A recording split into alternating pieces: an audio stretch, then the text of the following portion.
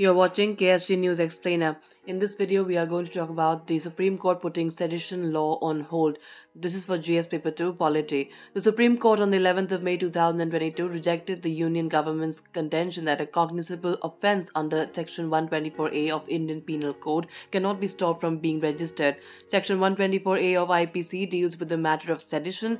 Earlier in the day, the Apex Court had suspended the use of the draconian penal provision until the centre re-examines its provisions. Now, what is the sedition law? Section 124A defines sedition as whoever by words either spoken or written or by signs or by visible representation or otherwise brings or attempts to bring into hatred or contempt or excites or attempts to excite disaffection towards the government established by law shall be punished with imprisonment for life to which fine may be added. Although Thomas Macaulay, who drafted the Indian Penal Code, had included the law on sedition, it was not added in the code enacted in 1860. Legal experts believe this omission was accidental.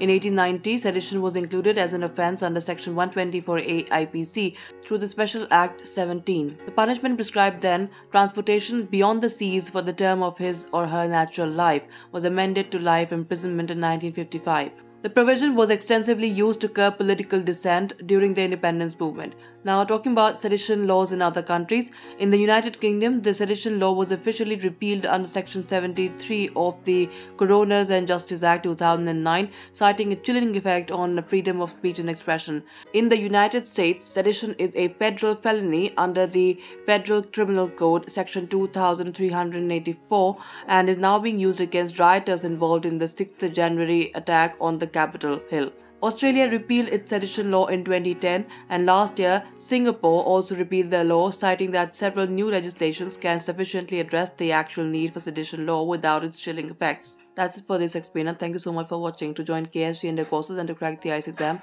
visit ksgindia.com. You can also get a PDF of this explainer on ksgindia.com. Thanks for watching.